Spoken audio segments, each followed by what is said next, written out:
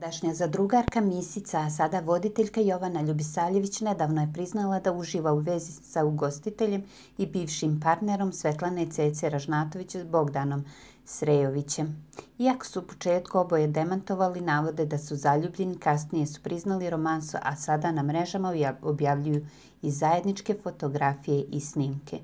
Njih dvoje gotovo da se ne razdvajaju, a sinoć su imali poseban razlog za slavlje i sreću.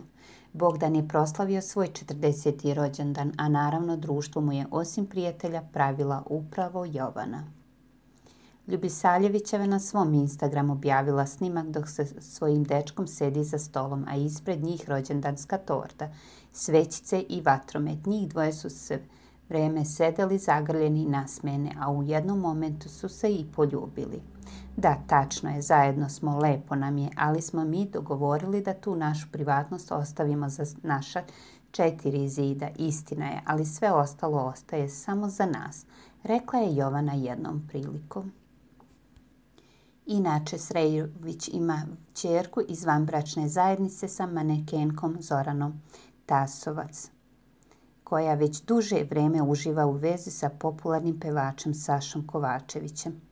Kako pojedini mediji prenose, Bogdan je Jovanu već upoznao sa svojom mezimicom.